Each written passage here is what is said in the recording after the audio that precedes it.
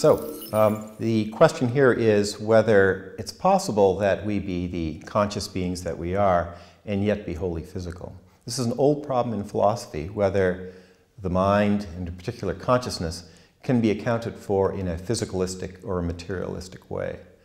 Um, now, before the 20th century, most people agreed that materialism was false.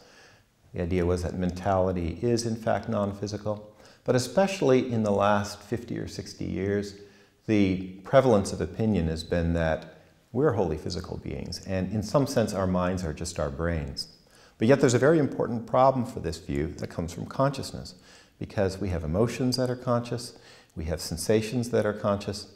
Now, um, for example, you might smell a rose, for example. There's a certain um, way it's like to smell a rose, right?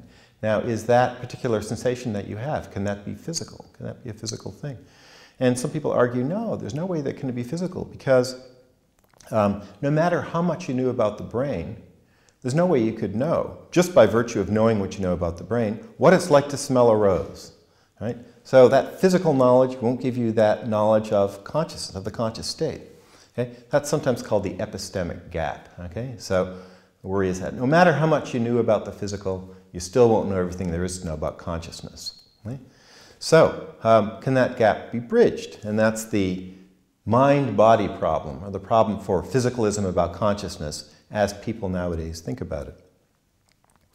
Now, um, in my own work, um, I explore a couple of different ways to try to solve the mind body problem for physicalism. And I'm not sure that physicalism is true, and I have a book in which I present a couple of different possible routes that the physicalist might take.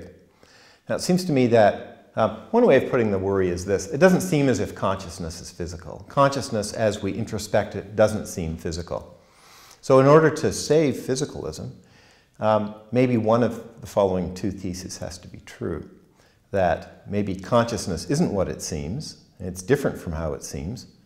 The other possibility is that the physical isn't what it seems, it's different from what it seems. So, maybe um, on the first possibility, there are some other things in the world that aren't as they seem. For example, colors. The contemporary view about colors is what? That colors are something like molecular shapes. Right? Uh, so, what is redness? Redness seems a certain way to us in visual experience, but color science tells us that you know, there's a spectral reflectance profile and its molecular basis, and maybe redness is the molecular basis for, the, for a certain kind of spectral reflectance profile. Okay, so conscious, so redness is different from how it seems. Now, if redness can be different from how it seems, according to modern science, why can't the smell of a rose be different from how it seems?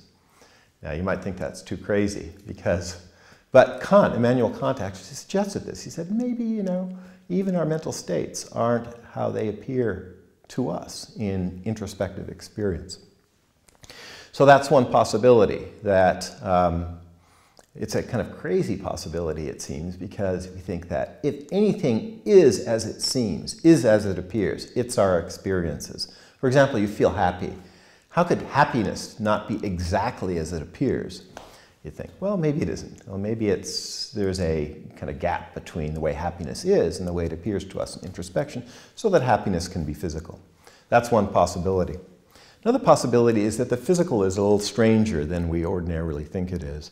And so David Chalmers, for example, has suggested that maybe the physical um, includes consciousness. Maybe the very most fundamental particles in the universe are, have little bits of consciousness in them. This is an old theory called panpsychism, that you know, the physical world uh, at its very basic level um, is, is conscious. I think that's kind of an odd position myself. It's not one that I like.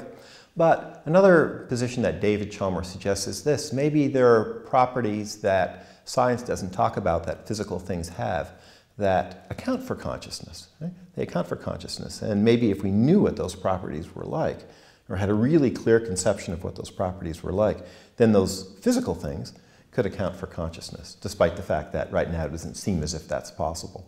So those are two possibilities for physicalism that I explore. One according to which consciousness is different from how it seems and so it can be physical. Another according to which the physical is, is fancier or different from how it seems. And so it can't account for consciousness. So, how do contemporary philosophers and maybe contemporary neuroscientists try to solve this problem? So, the first view that I outlined is sometimes called um, a version of eliminationism. So, that view says that consciousness isn't quite what it seems, and we want to eliminate from our picture of consciousness certain features of it that are troublesome for physicalism. Okay? And so Daniel Dennett, for example, has a view like that. Um, Paul and Patricia Churchland have advocated a view like that.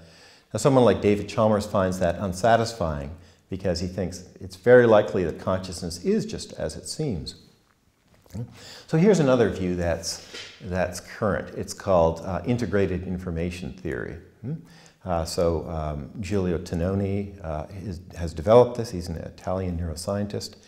Um, and in his view, what consciousness, what accounts for consciousness, or the most important factor for accounting for consciousness, is just the degree with which information is integrated in our brains. And it turns out it's massively integrated, much, much more integrated than uh, the information in our best computers is integrated. Okay? So um, maybe our brains are very special uh, in that they have an extremely high degree of integration of information.